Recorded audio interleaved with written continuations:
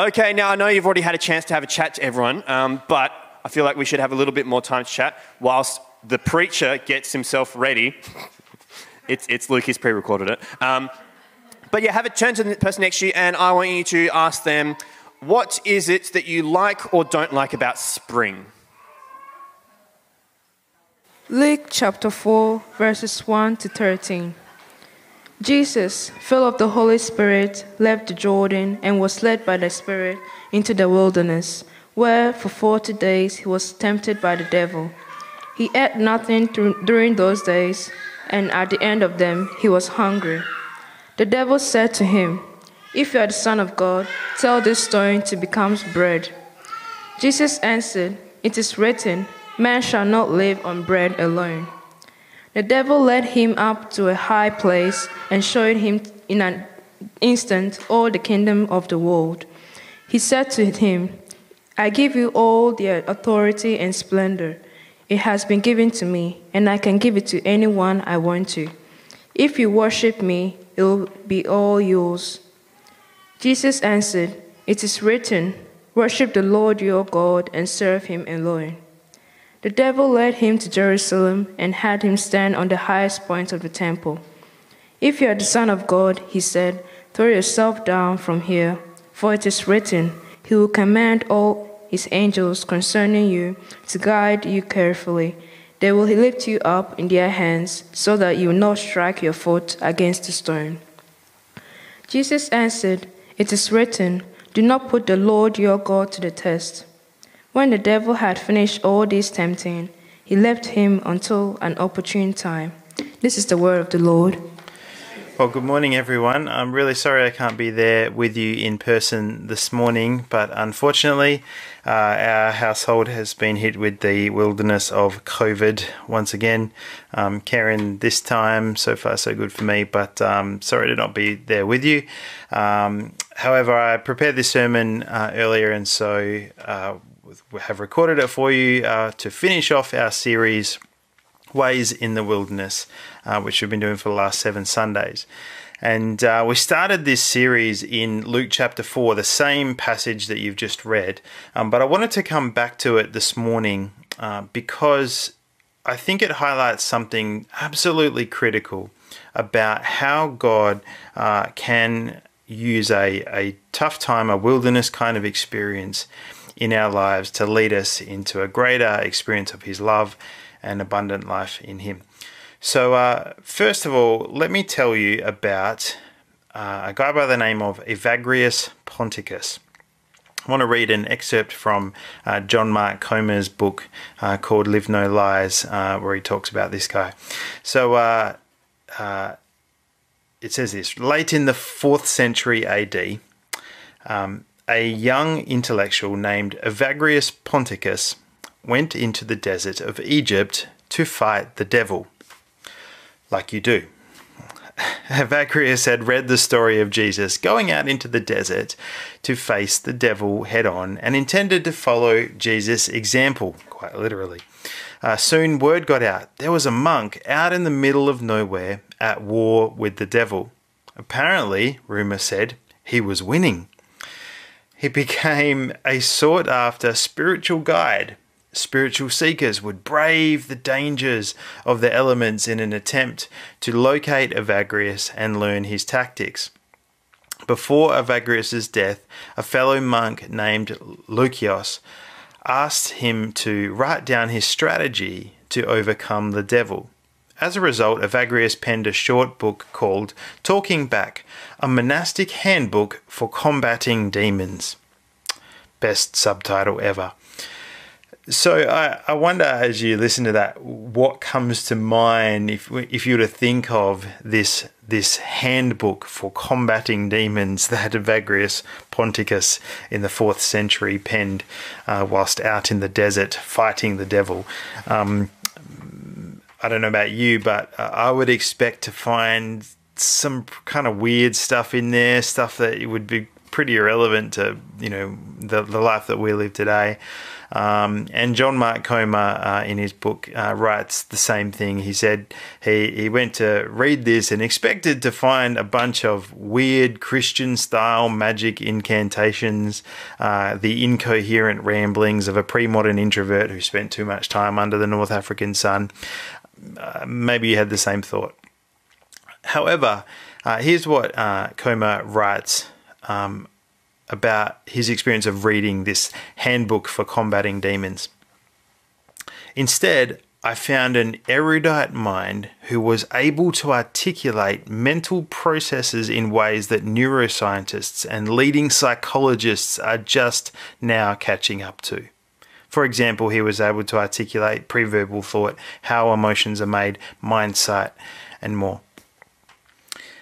Now, maybe it's just me, but I just don't think we would expect that from a desert monk's handbook for combating demons. But I think that's because we 21st century kind of enlightened intellectuals, we suffer from what C.S. Lewis called chronological snobbery. Right? Chronological snobbery. The idea that we've uh, intellectually advanced past what our great grandparents and their great grandparents and their ancestors were able to know and understand. That we're somehow more advanced humans, more evolved, more enlightened is the usual language uh, than they were back then.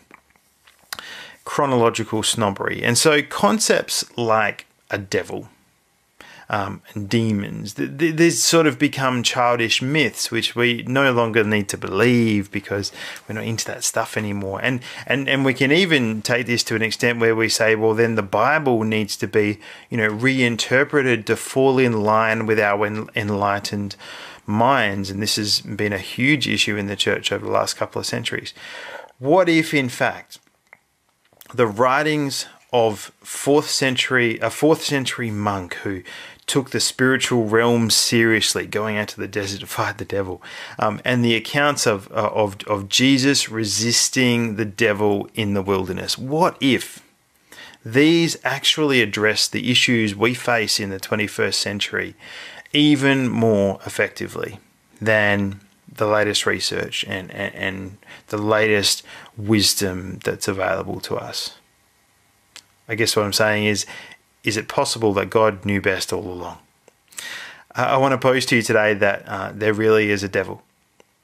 There really is a real being, not just a symbol for evil in the scriptures. And I won't have to convince some of you of this, but others are going, oh, I'm not sure what I think about this. Many have written over the centuries that, that, that Christians fall into one of two traps. One is an unhealthy obsession uh, about the devil and demons, and that's unhealthy. Um, the other is a denying that he even exists. Uh, in his brilliant book, uh, The Screwtape Letters, C.S. Lewis writes these letters of an older demon to a younger trainee demon who's who's going after his patient, and um, he's he's saying, convince him that we don't exist. Um, a number of times in a number of different ways. This is one of my favorite quotes. I don't think you will have much difficulty in keeping your patient in the dark. Remember, this is the older demon writing to the younger. Uh, the fact that devils are predominantly comic figures in the modern imagination will help you. If any faint suspicion of your existence begins to arise in his mind, suggest to him a picture of something in red tights and persuade him that, uh, since he cannot believe in that, it is an old textbook method of, of confusing them, he therefore cannot believe in you. um, I highly recommend Screwtape Letters. It's a it's a great read.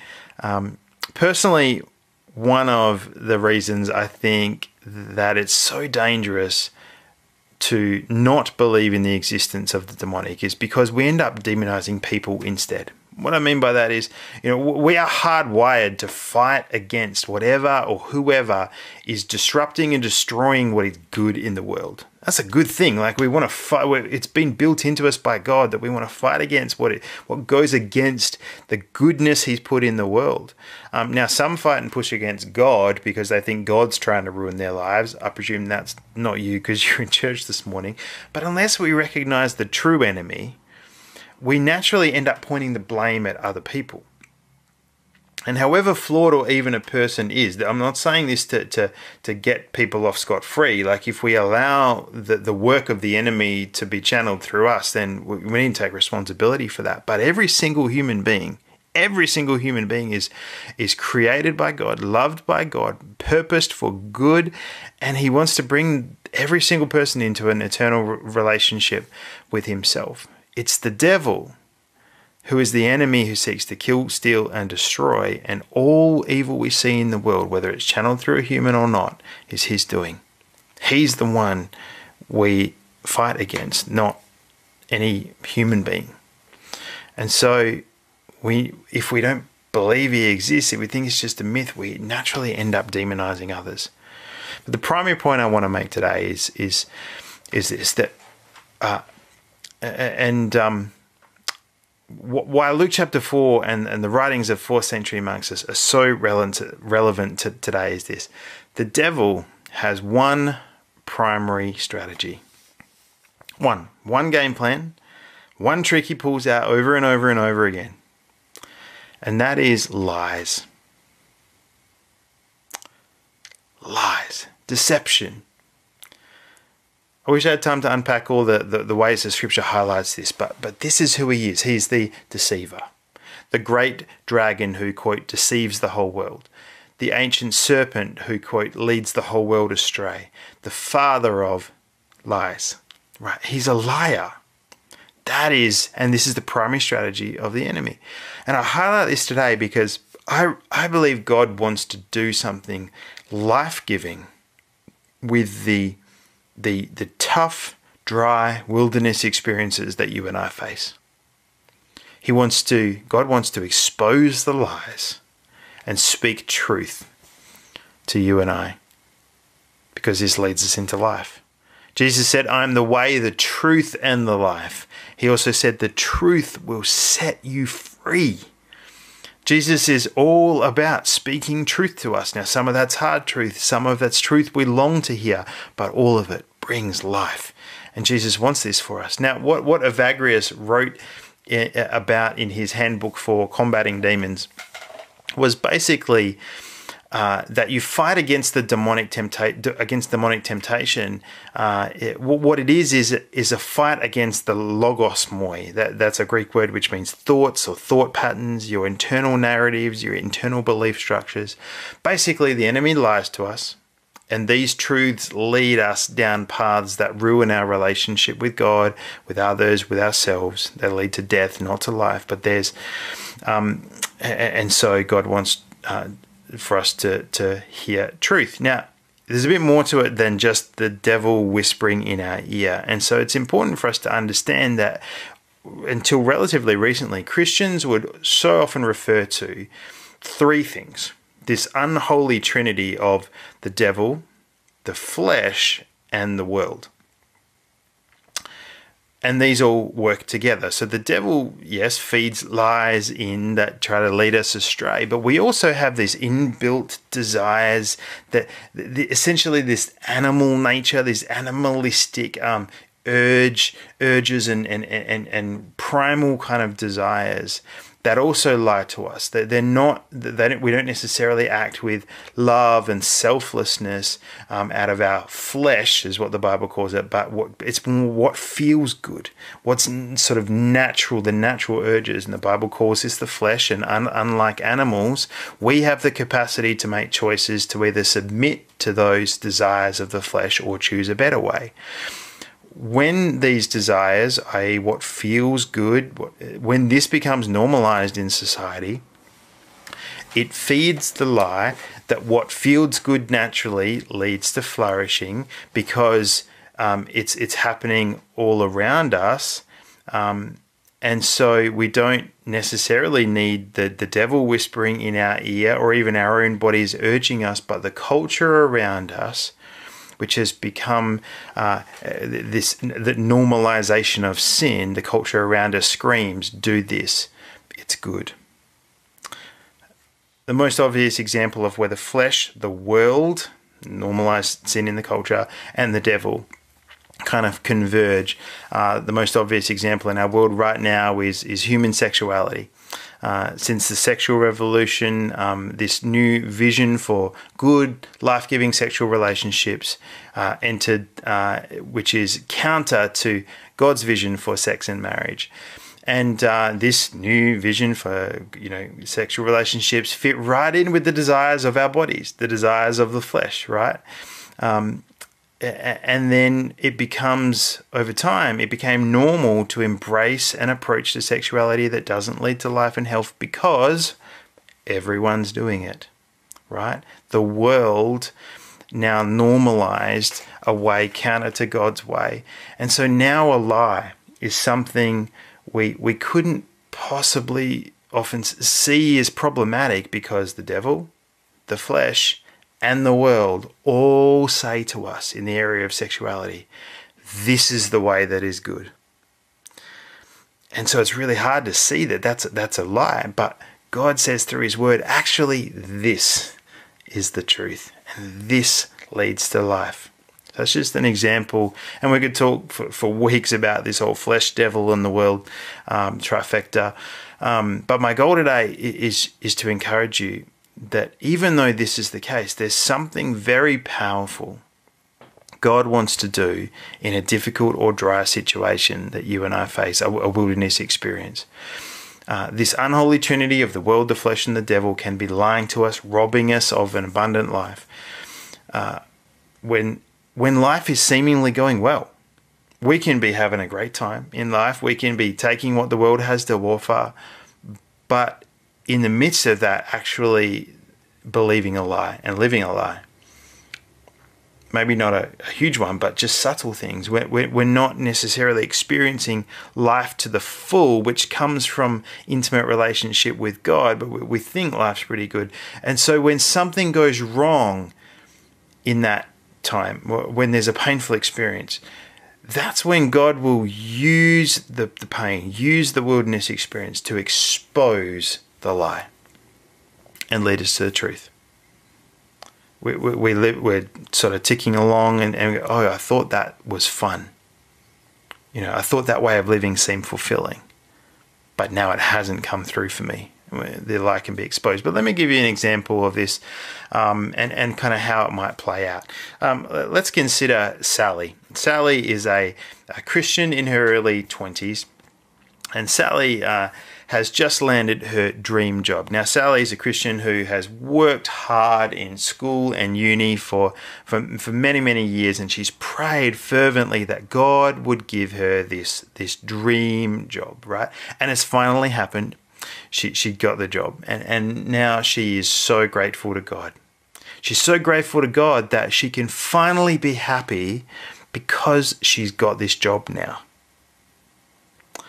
Her dreams have come true right? God must be good because he granted her dreams and, and fulfilled her great longing. But her job um, relies on her being on her feet much of the day, being active. Um, and, and look, that's not a problem because Sally is, is fit and she's active and uh, she's healthy. Um, but then last Tuesday at netball training, uh, she broke her ankle. And uh, for Sally, this is it was a bad injury, and it's going to be a, three to six month recovery. And the boss, upon you know her her telling the boss this, the boss decided, um, well, that's that's just too long. So unfortunately, Sally, we're going to have to let you go. We'll find someone else. And so Sally is devastated, as you can imagine. She she the dream job was hers, but now it's gone, and now she's angry at God. How could he give her this job eh, only to take it away from her? Doesn't he know how depressed she'll become without this? This was her dream for years and years and years, and she prayed and then she got it. How could it just go all of a sudden? How could this happen? Why would you let this happen, God? Let's pause for a second and observe. What's happened with Sally? She got the job. God even helped orchestrate that and, and, and allow that to happen. And so it's true that God is good and she's right to be thankful to Him. But there's a thought in there, a belief, the thought that she can finally be happy because she's got this job. And that's a lie. It's not a blatant, obvious lie, kind of like um, cocaine will make your life better in every way. That's just a obvious lie, right? But this is a lie that sounds like truth. God wants her happiness is true. God granted her this job and gave her this job, and that's true. But God wants my happiness, and therefore, He's granted me this job to make me happy there's lots of truth in that belief, but ultimately it's put together to make a lie. Her happiness doesn't stem from the job itself. So then she loses the job, the dreams are shattered, and enters a wilderness experience. And what happens next? Well, well, first of all, the, la- the lie is amplified for Sally, right? Sally doesn't immediately go, Oh, now I see that I was getting my happiness from the wrong thing. The lie is amplified, you know the, the, the lie is amplified first. God, I'm only happy with this job. How could you do this to me? How could you let this happen? That's what happens first. But it's here in this wilderness that Sally has an opportunity. And the opportunity is to discover the truth, to replace the lie with the truth. The truth is, you don't need a certain job to be happy and content. Happiness and contentment is found in a relationship with God, the relationship she already has. She's a Christian, but she's believed a lie. And God wants to replace it with His truth, because the job will eventually let her down. But God won't.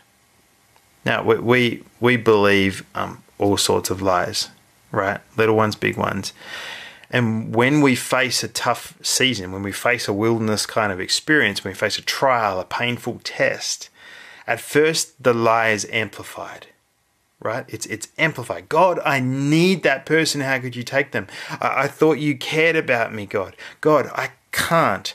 Right? The lie is amplified when we, we face something tough as opposed to when things are kind of seem to be going all right. I think uh, about, for example, the Israelites in Egyptian captiv- captivity. If you know the story, they're, they're uh, slaves to the Egyptians, and as slaves in Egypt, I imagine them sort of saying, Look, I, I know we have food on our tables and a roof over our heads, but we're still slaves. Maybe God doesn't love us. Right? There's the lie. It's sort of just a question and a, and a and it's subtle but then they're brought out of Egypt and they had to navigate the wilderness, and, and the lie is amplified. They start saying, Why have you brought us here to die? We'd be better off in Egypt. Translation God definitely doesn't love us, right? And yet, the wilderness for them expo- uh, posed an opportunity.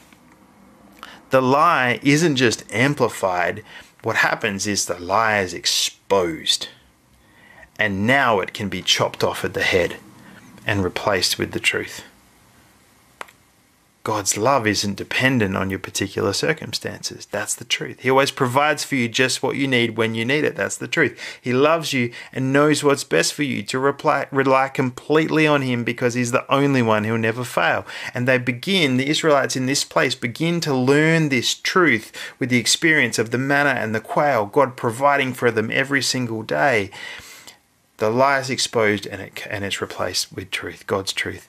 Consider Jesus then in the wilderness. This passage we read earlier on today, once again, it's, it's there in the wilderness that Jesus is faced with lies, crafty words, temptations that speak right to the flesh.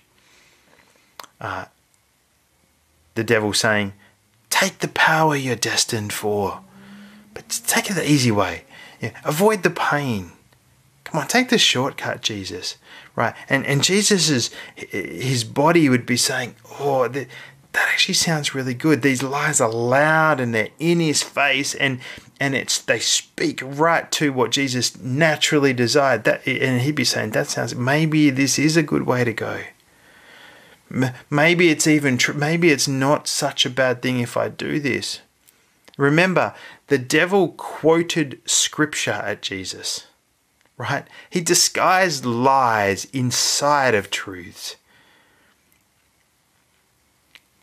But Jesus, in that moment, becomes the model of how we enter life in all its fullness. While the lie is exposed, replace it with God's truth. How do we combat the lies of the world, the flesh, and the devil? I think we practice the, the ways of Jesus that orient us towards truth. We replace the lies with the truth that God speaks, the truth that sets free, the truth that leads to life. And we do that with the practices of Jesus. And what I mean by that is disciplines that help us deny the flesh. See, uh, we can't control the world and, and the, the, the, the society around us and what it normalizes in terms of sinful practices. And we can't control the devil, right? But when it comes to the world, the devil, and the flesh, it all converges in the flesh because the flesh is what we can control. Um, we can't change what the enemy's going to say, we can't change what the world's saying, but we can live in ways and live with disciplines that deny the flesh and the, the things in our in our inbuilt animal nature that would lead us astray and lie to us. We can actually live with these these disciplines that say no to the flesh. Disciplines like daily time in scripture, silent prayer, Sabbath, sacrificial community, confession of sins to one another, stuff that we don't naturally want to do because it's it's it's sacrificial. Some of it's painful, but it's stuff that trains our bodies, um, and and more importantly, shapes our soul. I don't have time to go into the body soul spirit relationship, but what's happening when we live and with these disciplines, these practices of Jesus which deny the flesh? What happens is that our soul is now formed more and more by the spirit than than by our bodies. And it helps us to live in a way by the spirit that we experience the life that God has for us. Wish I had more time to go into that. Before today, I just want to highlight one simple practice, one thing that we can do to uh, replace the lies of the devil, the flesh, and the world with the truth of God's word. Um, Evagrius's handbook for combating demons was essentially dozens of chapters that started uh, with this line against the thought that. That's how it, it all started. Every chapter of this book against the thought that. So, so he took a lie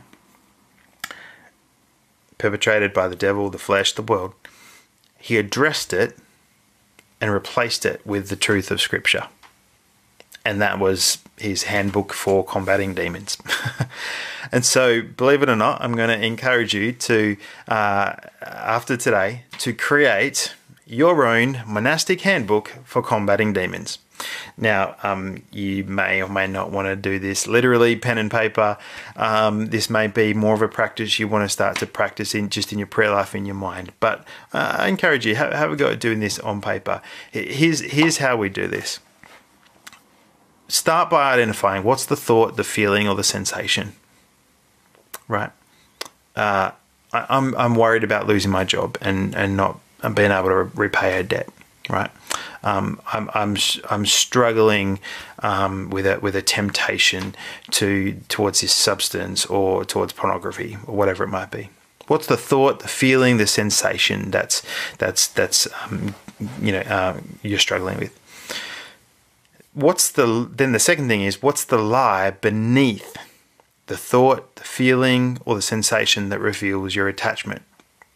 So, for example, my safety and security are in my job, and owning newer, nicer things will make me happy. That might be the lie beneath the thought or the feeling of being worried about your job. And then finally, the third thing is what's the truth? Identified the thought, the feeling, sensation, identified the lie beneath that, but what's the truth?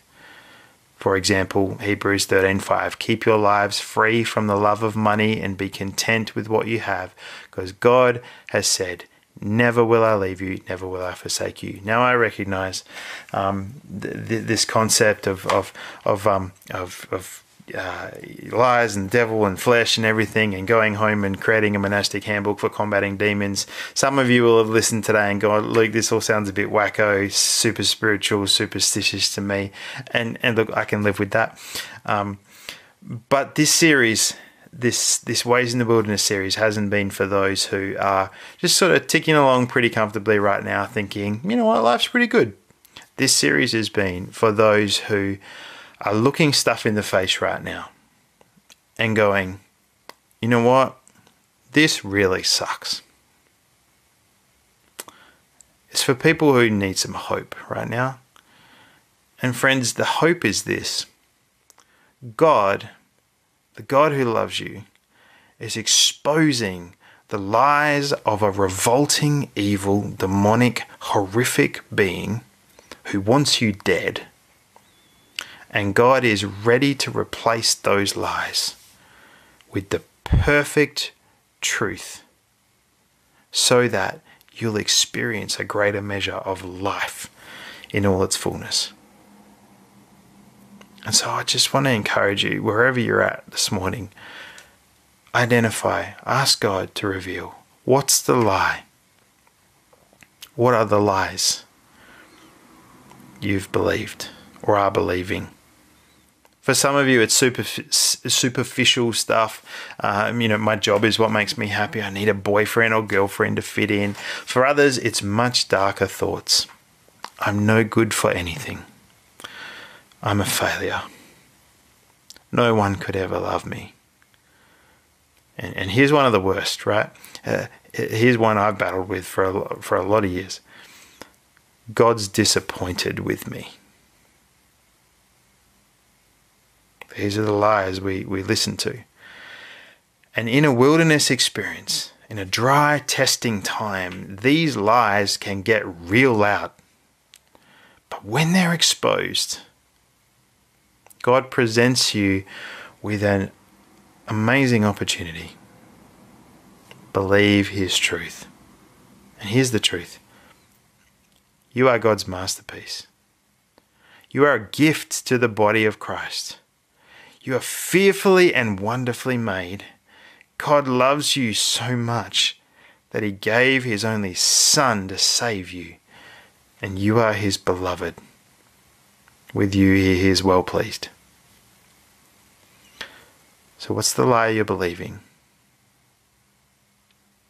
Ask God to show you. It may even sound a little bit like the truth. The best lies are half truths or almost true or full of little truths but put together wrongly. But ask God to reveal it. Ask God to reveal the lie. If a wilderness is amplifying it, if a painful season is amplifying it right now, it may just be overwhelming you and you can't see it. But take a step back, see it for what it is, and proclaim God's truth in its place. Jesus promised this, and I'll just leave us with these words If you abide in my word, you are truly my disciples, and you will know the truth. And the truth will set you free.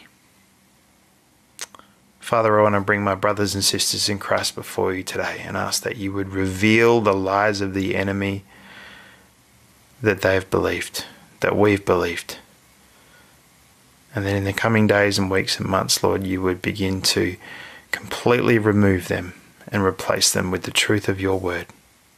The truth that sets free, the truth that leads us into life in all its fullness, the life that you want for us because you love us. I pray this in Jesus' name. Amen.